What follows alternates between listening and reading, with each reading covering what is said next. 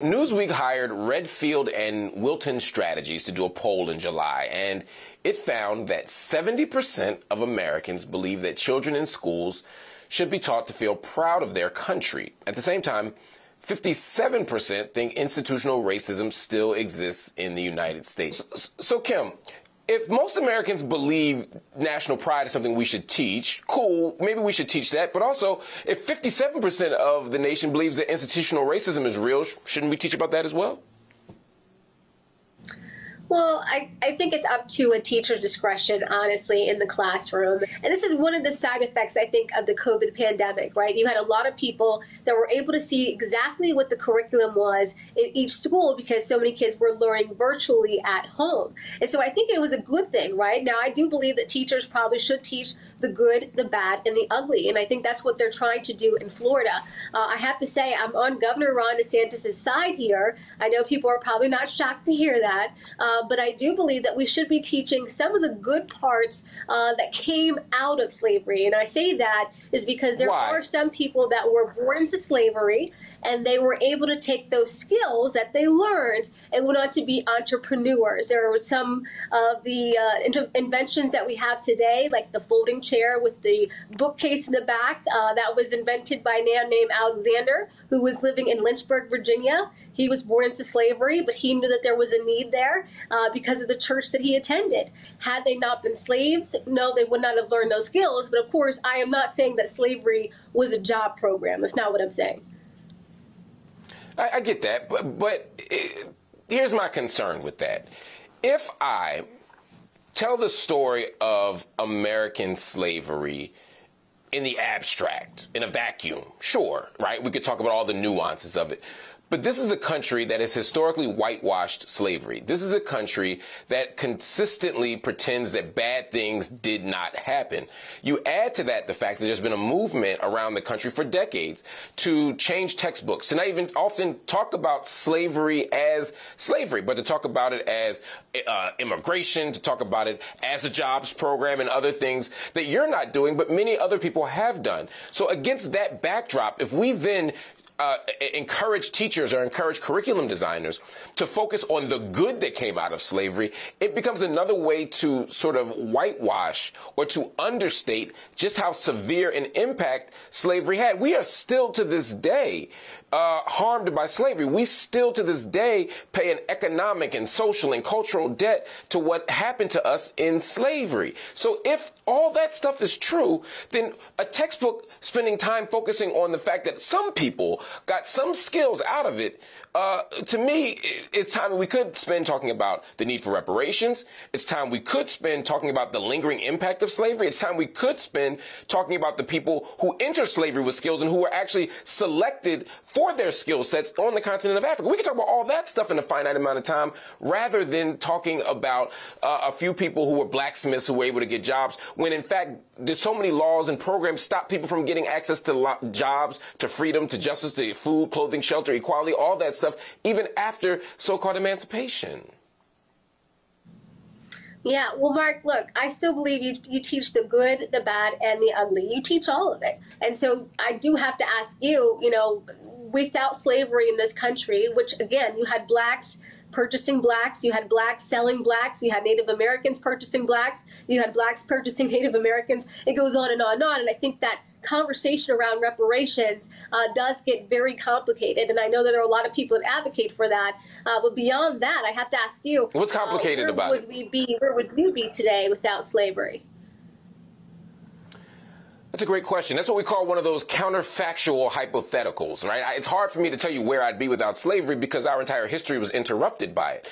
But uh, black people or African people, more importantly, had empires. We had civilizations. We had governments. We had uh, order. We had laws. Were we perfect? No, no, no society, no civilization is perfect. But the question, where would we be without slavery, would imply or suggest to people that somehow we are we have benefited from the enterprise of slavery or that somehow in the aftermath of slavery we're better off than we otherwise would have been. And there's absolutely no evidence to believe that African people were better after interacting with enslavers, after interacting with the European colonists. There's no evidence of that. So I don't know where we'd be without slavery, but I, I'm certainly sure it's better than where we would otherwise be. Yeah, see, and I, I would counter that personally with what we see on the, uh, the continent of Africa today. I mean, honestly, you, you talked about some people having, Where? you know, some of the kingdoms and being on the hierarchy in Africa and different countries in Africa, and sure, but those weren't the people that were being sold into slavery. See, so it's like it's it's so hard Hold on, hold to on. understand. But, but, but Kim, Kim, where, where, where, in, where in Africa? I, I want you to be a little more specific. Where in Africa can we point to and see any kind of problem, any kind of disruption that hasn't been touched or interrupted by Eu- Europe?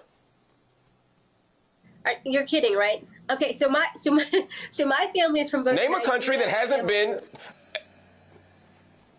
You- you- You're saying Nigeria and Cameroon haven't been affected by Europe? That's your argument?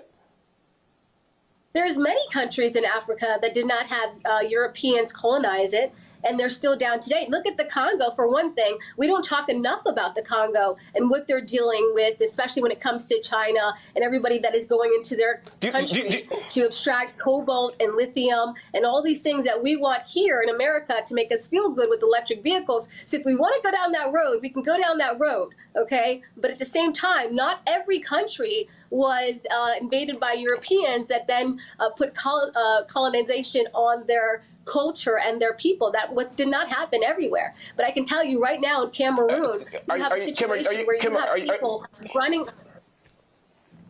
Go ahead. Continue. Finish tribes thought. Finish your thought. Right now we have tribes in Cameroon right now that are trying to run from the military, run from the government, and it is black on black in Cameroon. This is what's happening across Africa. I'm not saying you being a slave uh, from a family of slave uh, slavery is great. I'm not saying it for myself either. But you can't sit here and say that your life would have been better uh, without slavery because we just don't know. We can look back onto the continent of Africa today and we can say that there are a lot of places where people are leaving, seeking refuge to come here in America because this is the land of opportunity. So, just real quick, I have to take a break. You're familiar with Zaire, right? The country? Yes. Yes. Right. Do, do you know what that's called now? What is it called now? Yeah, Congo. So the country you're saying wasn't affected by Europe, or it was affected by Europe because it was colonized, and You have the- only now being called Congo again. Congo. You also. Right. My, my point is, Congo was, was, was colonized. When you talk about Cameroon, there's a reason why they speak French. It's, it's not because they really love the language, it's because they were colonized. There are many countries you're that were not my point. colonized, The- uh, oh, anyway, I got, I got to take a break. We'll be back. Hold- one second, Kim. I'm going to give you a chance on the other side of the break. I want you to be able to uh, say what you have to say, but I have to pay some bills here. Next up, the fallout continues after the Supreme Court effectively ended affirmative action in college admissions. The next affirmative action battle for some Republicans ahead. Stay right here. Welcome back to the Grio. Back with me for the hour is conservative and former Maryland Republican congressional candidate Kim Klacik. We're talking about a range of issues. Kim, I want to move to affirmative action, but before we do, I want to give you a chance to finish your thought from the previous uh, segment.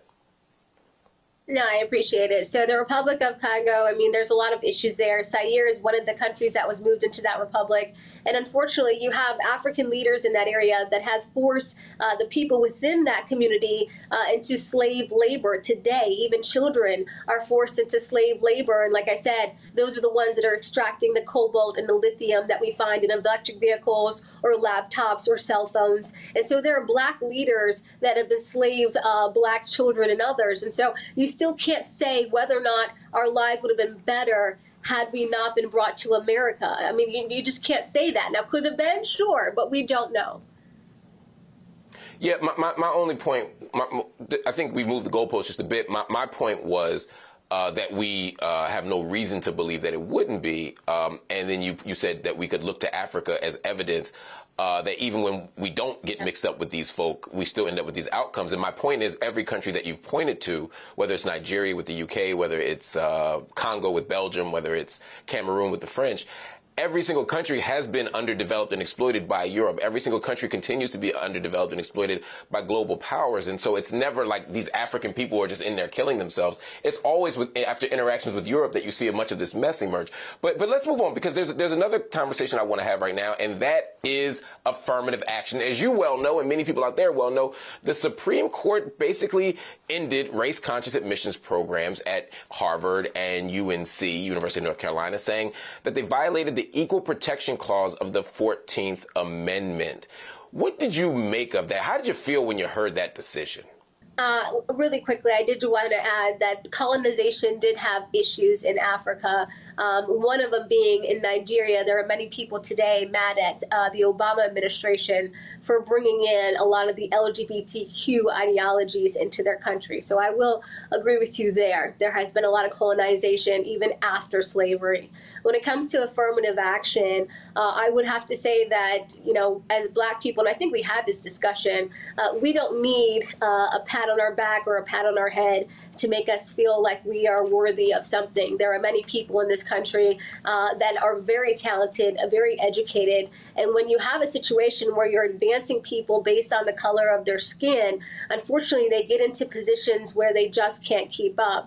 I would say if there was affirmative action, say for Baltimore students to go off to Harvard, uh, I would pity them because we know that uh, nine out of 10 black boys in Baltimore City cannot read at grade level. So they would get to Harvard and ultimately fail. Uh, and so I don't want to see anybody that is um, uh, promoted based on their but, skin but, but, or Kim, their gender because I think it should be. A- but let, us but, but that's a that's a that's a bit of a misrepresentation of what's happening. Are you suggesting that people at Harvard were admitted who were incapable of doing the work co- comparable to the example just offered? I mean, the example you gave of nine out of ten boys in Baltimore going to Harvard is that's not at all what's happening. This isn't a hypothetical. People have been going to Harvard under affirmative action programs. Are you suggesting that those people weren't qualified? Well, well, the Asian Americans that brought this case forth, they showed with data that there were many uh, African American students, many Hispanic students, and those that were elevated into these positions at Ivy League schools unfortunately had to drop out or failed because they just couldn't cut it at that level. That is that's actually part of their case that they brought to the Supreme Court.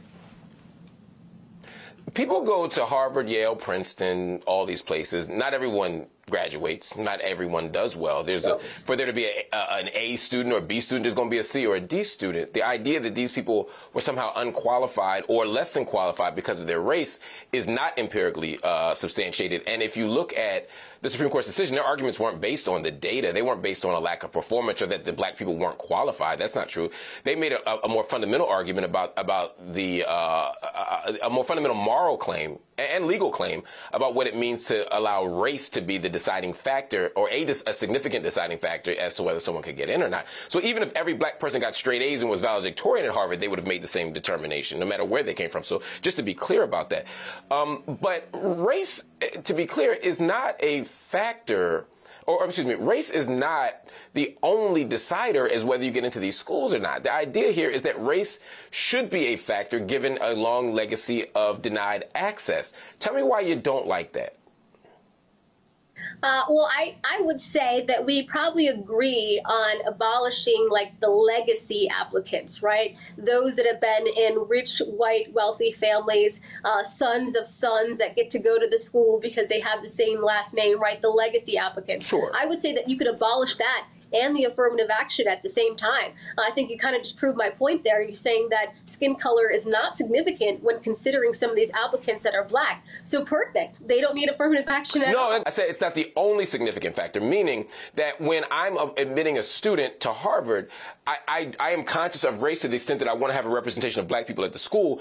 But these kids also have high SAT scores. These kids also have high GPAs. These kids also have strong applications. Okay, well, it sounds like the Democrat Party would have to come together and talk to all those people in charge with, of admissions at these Ivy League schools because this is a situation, honestly, Marc, that doesn't even involve Republicans. I mean, the Ivy League school administrators are liberal Democrats. They're the ones that are not taking and accepting black students to your uh, standards. So this is a conversation you guys would have to have amongst each other. well, I'm not a Democrat, but but the idea that it's not a Republican issue is interesting because you got to keep in mind it's not Democrats that are out here pushing to end these admissions. It's, it's Republicans, and it's and it's all Republicans well, no, and disaffected white men. True. The Asian Americans and the Asians that took this force to the Supreme Court, uh, one of the women that actually was there in the courtroom was a Democrat representative on Capitol Hill, and she's Asian, and I believe it was her and Jemele Hill or Jemele Hill took her post and was uh, poking jabs at her. But no, these are Democrats that brought this forward. Bringing the case forward, but the argument against affirmative action has been a right wing talking point for decades. You don't deny that, right? No, I, I say that this has been a talking point really for Asian Americans and other immigrants for the most part. Okay, you're saying that the Republican Party has not, and, and, and Republic, prominent Republican voices have not consistently uh, decried affirmative action and disagreed with affirmative action and taken public positions against affirmative action. That's what you're saying. You have a name of one? Uh, we could name a million of them. We could go to every, we, we, we, could go to every U.S. president, Republican U.S. president for the last 30 years has said that they disagree with affirmative action. In fact, it's in, in fact, um, it's, it's, it's, it's it, no, it is true. We could also name prominent, but again, we talk about prominent voices.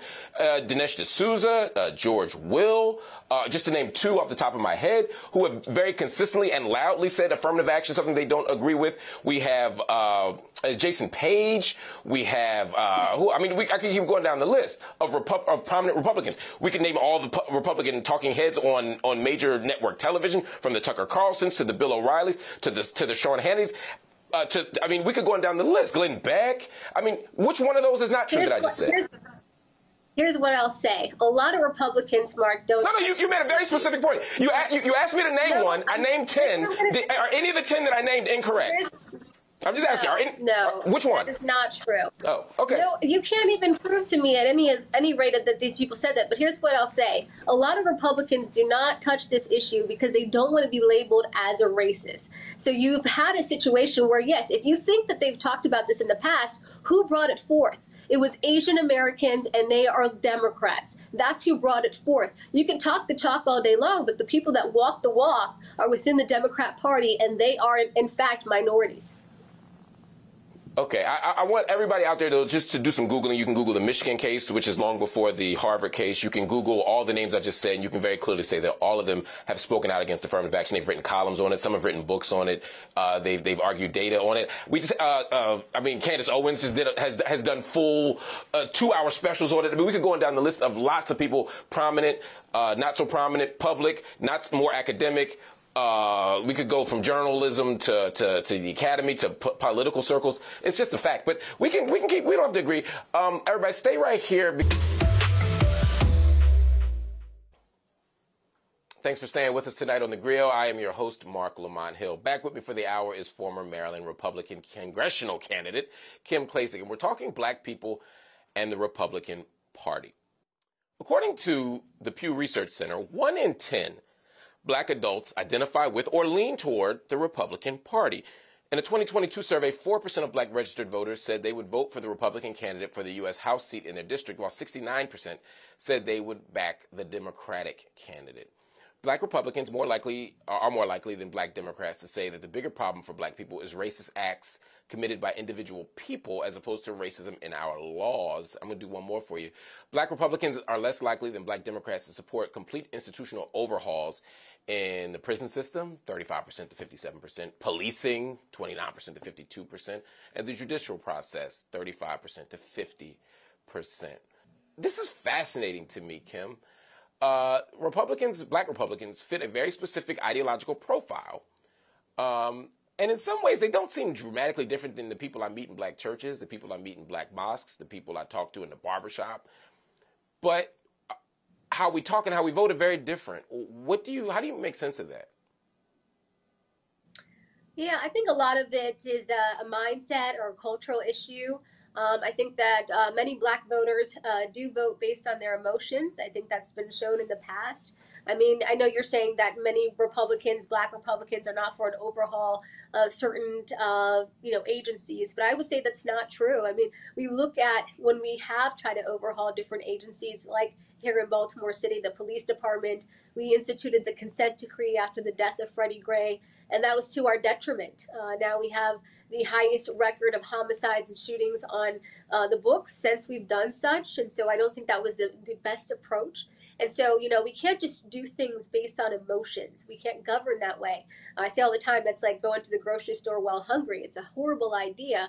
Uh, we have to sit down and really think things through, not just get so riled up and, and just move based on how we feel. Now, I will say that there is a negative tone when it talks about black Republicans. I know I get called names all the time, like a sellout or a traitor and things like that. And so I think that does, uh, you know, make some black uh, voters feel as though that they don't identify with the party because they don't see themselves as something as negative as an Uncle Tom. Why do you think you get that kind of response, though, when people call you a sellout? And here's why I say that. Uh, there's people like uh, Colin Powell who, you know, got a little bit of that. For the most part, people didn't say that about Colin Powell. There's people like Michael Steele who, even before his MSNBC time, and I know that's he's kind of like a Democrat now on TV, basically. But even before that, there's a way that he didn't get that. But then there's people like you uh, who sometimes get that kind of criticism. Do you think it's anything to do with the message? Do you think it's anything to do with the approach, or is it purely ideological? Well, I think sometimes people do confuse me with, and I will say Candace Owens. I've never once said that black people are brainwashed or on a Democrat plantation. And so I don't think that those uh, terms are useful when trying to persuade voters. And I think some people just put us in the same box. Uh, and so I, I will say that there are many people that use language uh, that is really not, uh, you know, doesn't positively impact the uh, the black community. Uh, but I say when it comes to me, uh, honestly, I, I stand 10 tones down in my stances. Uh, I think some people look at, like you said, Michael Steele. I mean, here's a guy, like you said, he could be considered basically a Democrat on TV. This is a guy that wasn't really solid in his stances as a Republican, right? He could be swayed either way. It depends on where the dollars are flowing for him. Uh, and so for me, I think people look at it and say, okay, well, she supported President Trump. Uh, the media tells us that Trump is racist, and because he's a Republican and we think he's all about white supremacy, we believe that this young lady, endorsed by Trump, is also a sellout. But really, if they followed me on social media, if they got to know me, uh, got to hear what I said on my radio show, I think a lot of them would agree with some of my points. I think so too. I, I, I think that, again, I ain't been to a black church in America uh, that doesn't have some conservative views. If you if you talk to me, uh, you know, on, on a certain Sunday afternoon, I might be complaining about my family members that, that, need to work harder and stop complaining about the system, right? I mean, like, like there are those moments, especially when they borrow money from me. There might be moments like that, right? You might have points of resonance. Nobody has been more conservative and beloved at the same time than probably the Nation of Islam. They often talk about investing in American capitalism, doing for self, not blaming the white man, don't ask for welfare. I mean, we're going down a list of stuff and they get a certain kind of love, y'all don't. But the difference is they wouldn't say, for example, that slavery might not have produced a bad outcome for black folk. When you make a comment like, we don't know if we're better off or worse off because of slavery, you know, you have to know that that's not going to bring black people into your tent. You got to know that that's going to jab at them just a little bit. That that's that that probably does more to make white people happy than black people.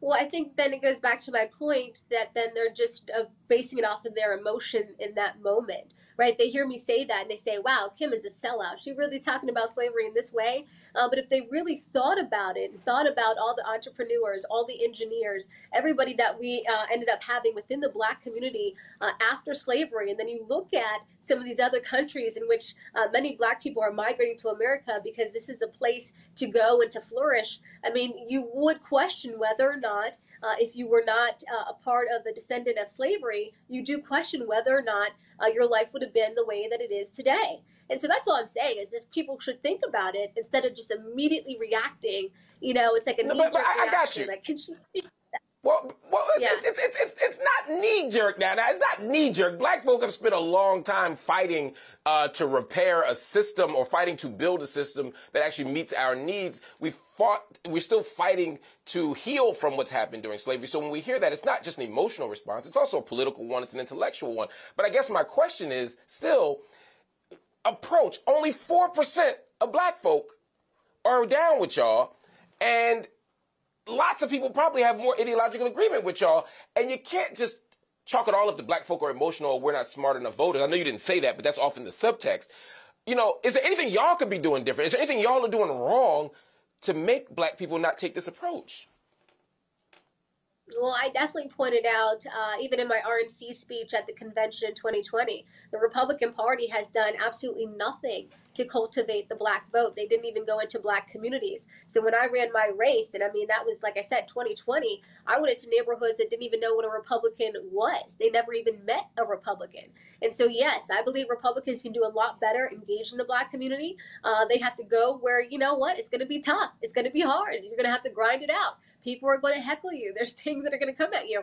Uh, but you know, the Republican Party for so long, I think that they're just used to being able to kind of like slide through. Uh, but those that's not the case nowadays. I mean, we saw what happened in, in Georgia right? I take, for example, the Senate race even in 2021, before we got to Herschel Walker, right? The Senate race, I mean, I was down there for the Save America bus tour, Marc, and I can tell you, I thought they put me, Congressman Byron Donalds, and others, all black, Senator Tim Scott, I thought we were all on this bus because we were going into black communities to talk to black people about Republican policies, and we didn't once visit any black neighborhoods. And that was the Republican Party that made that decision. So, yes, there are things that we can do differently, but I also would love uh, for my people to just be a little more open minded and have the conversation, have the dialogue. Um, I'm not the one to get into a fight where, you know, with anybody. I want to have that conversation and keep that door open.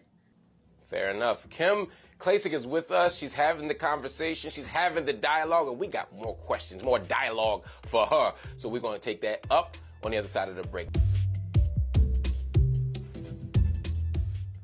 Welcome back to the Grio. Two bipartisan governors are calling on Americans to quote disagree better over politics. That's what they're calling their new effort. Republican Spencer Cox of Utah and Democrat Jared Polis of Colorado are the leaders of the National Governors Association there is a, a, a, growing majority of Americans that are tired of the the toxic disagreement, the divisiveness of tearing each other down. That they're they're actually looking for something better. It doesn't mean that we're going to agree on every part of a very difficult and challenging issue, but at least you can have the conversation at a better level.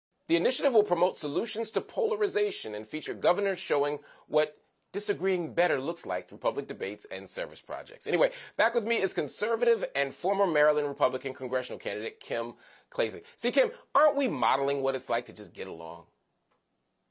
Yes, I think we're doing a great job. Thank you. and, and, and why can't we see more of that? Why is everything so cutthroat and bitter these days?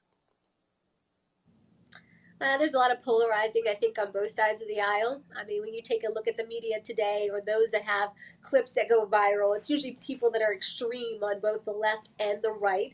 Uh, and that is because it's entertaining, right? That brings in ratings. Uh, but there are a lot of people that are, are willing to get along uh, to go to the next level. I was very happy to see that oral contraceptives was probably finally, finally uh, passed to be over the counter, and the FDA uh, drew back those regulations so more people could have access to oral contraceptives. And that's something that I thought we could have done on a bipartisan effort uh, between both Democrats and Republicans. And so there are issues where we can come together. I mean, there are issues where we're going to have a fight for sure, uh, but there are some where we can have, uh, you know, just some kind of unity. But I don't think that sells in today's media. On August, uh, I want to say 18th, 2020, you released a video why Black Lives Don't Matter to Democrats. You got about four and a half million views in the first day. I think the whole video is in the double digit millions right now, more than any video I've, I've ever made in my whole. If you add up all my videos together, I ain't got that many views. What does that kind of message contribute to it? You say people are, are doing things for ratings and attention, but doesn't that kind of video play into the very thing you're critiquing? No, that was that was pure honesty. I mean, what's happened in cities like Baltimore is just a travesty. I mean, we've been ruled by the Democrat Party for over 60 years, and that one party mob rule unfortunately fuels corruption. And I will say, Marc, that would happen even if it was on the other side, right? If it was 60 years of Republicans, you would have the same thing. It would be complete corruption.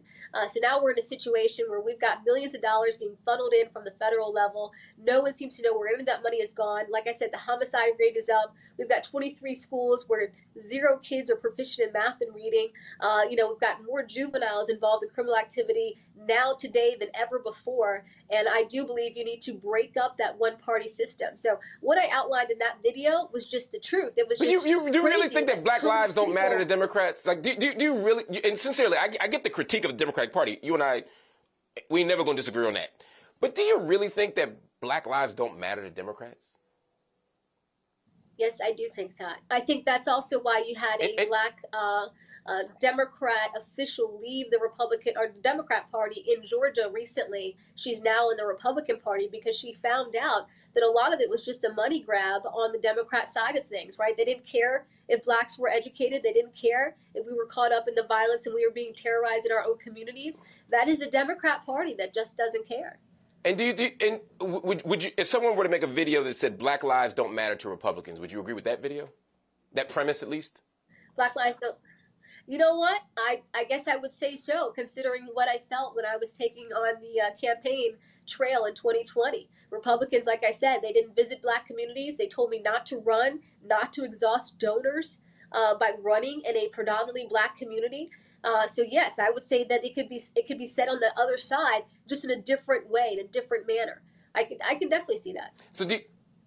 So, so do you see the challenge then, right? If if if we're really arguing that the political parties don't care about black lives, which again, I think most black people would agree with that, but you only make a video about the Democrats, it could look, it could look like a little bit of a, of a strategic hustle there as opposed to a principled criticism. Um, you, you mentioned earlier that you were a speaker at the Republican National. That is a huge honor. And you did a good job, I don't doubt, right? But a cynical read of this might be, well, she was running for Congress, but she you lost by a large amount. I, I, I think you got like twenty some percent of the vote. If I'm if I'm wrong, correct me. Um, you have been part of uh, a, a, a committee, but but you've never had a significant uh, public office. Uh, you you know don't have a long political career. You're a part time uh, radio host. You don't have a college degree. That that maybe just maybe if you were a Democrat, you'd be nowhere near the Democratic National Convention, and that and that your profile is one of a Republican, a black Republican, who goes over there because the line is shorter. You can get all the way to the RNC convention as a Republican, whereas that couldn't happen on the other side of the aisle. That's that that that's the read that a lot of people have of you. How would you respond to that? Well, that's just false. That's absolutely ridiculous. Yes, we got 29% of the vote in a D plus 34 district. We got the largest gain in the entire country. We flipped 14,000 Democrats in the city of Baltimore alone. The New York Times did an article on it if your audience was to take a look at it. And no, I don't have a college degree, but guess what, Marc? 64% of Americans don't have a college degree. So I speak the language of the general population. And when it comes to Baltimore City, in which I ran for office, you know how many people don't have a college degree? 89%. And so again, I relate, I'm relatable to that district. Now, I ran a nonprofit for eight years in Baltimore City, workforce development. We went on to get 200 women gainfully employed, and 30% went on to be financially independent. And so that's what I did for eight years. And so people can take it for what it is. But during that time, running that nonprofit, I'm trying to work with City Hall, trying to work with Democrats to get more resources to women that were either coming out of rehabilitation or incarceration, trying to get them employed. I could see it was the Democrat Party that was in my way. Now, I am a Republican. I've been a Republican since 2009. I didn't just hop on the scene as President Trump was running for office.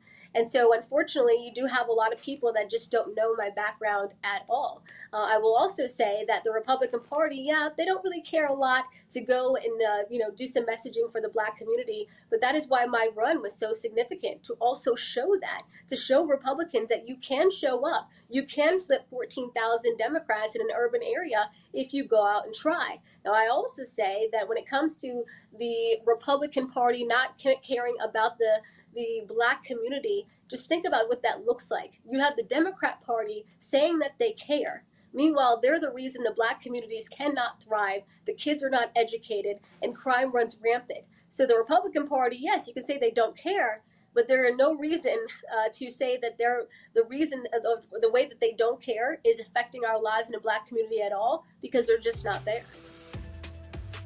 Another word, a final word from Kim Klacik right after this break. Stay here. Welcome back to the Grio. We have spent the hour talking to former, former Maryland Republican congressional candidate Kim Klacik. Kim, I want to give you an opportunity right now. You got about 60 seconds or so. I want you to make your case to Black America. This is the biggest, blackest, best news show in America. You got a few seconds now to just tell them why they should be on your side of the aisle. Why should black people choose the Republican Party? I'm going to give you the opportunity to make your case without interruption. Well, I appreciate that. You know, Congressman Kweisi Mfume is the congressman that beat me in 2020. And I would just say, if you saw the results, he has brought absolutely nothing to the table and has maintained the status quo. Uh, the black community deserves better in this country. Unfortunately, we haven't seen it. And if you're ever considering whether or not to be an independent or a Republican, I just suggest, I encourage you to kind of read what we push in our policies, our legislation. We're all about freedom of choice, and that's what it should be about. You should be free to do what it is that you want to do and how you make your communities better. Uh, right now, you see a lot of those in the Democrat Party, they're not about freedom. They want you to be in a certain vehicle by the year 2025. They want you to have a certain curriculum taught at your kids' schools. And if you speak out against it, then you will receive backlash. And you don't want that for your families. We've already been enslaved, remember? You don't want that going forward in 2023 and, and further. And so I would say just take a look at our policies. If you have the chance, look at President Trump's Platinum Plan. That was a plan that he put out back in 2020. It was right after he got the First Step Act through. And just take a look at that plan. It talked about job creation. It we talked about actually now. I, I, I, there, there we go. I, get, I gave you the time. You made your case. Let's see what America says. Kim Klacik, thanks for joining me as always. I can't wait to talk to you again. Everybody, stay here. Final word after this quick break. All right, family, we have reached the end of the show, but before I let you go, a final word about these parties. You know, for a long time, black leaders have told us, at least the best of our tradition, the Martin Kings, the Malcolm X's, the Angela Davises, that we don't need to be beholden to Democrats or Republicans. And I agree wholeheartedly. Neither of these parties has demonstrated that they have the best interests of our community at hand. Everybody should be challenged. Everybody should be held accountable. Everybody should be forced to do more. But we also got to be honest here. These are not opposite sides of the same coin. The Republican Party that freed the slaves, as Republicans like to tell you, ain't the Republican Party of today. All people who are Republicans are not racist, but I'll tell you one thing. If you're racist, there's a really good chance that you're a Republican if you're fighting against the rights of LGBTQ folk, uh, if you're fighting against the rights of black folk, if you're fighting to ban books in school, if you're trying to erase curriculum in history, you're probably on the right side of the aisle. And I don't mean the correct one, I mean the Republican one. And so, as we listen to these groups, as we listen to these politicians, as we listen to these voices, take them seriously, listen to their critiques, give legitimacy to that which is legitimate. But do not pretend that agreeing with them on a point can necessarily justify signing up for a team that does not have your best interest or the future of your community at heart.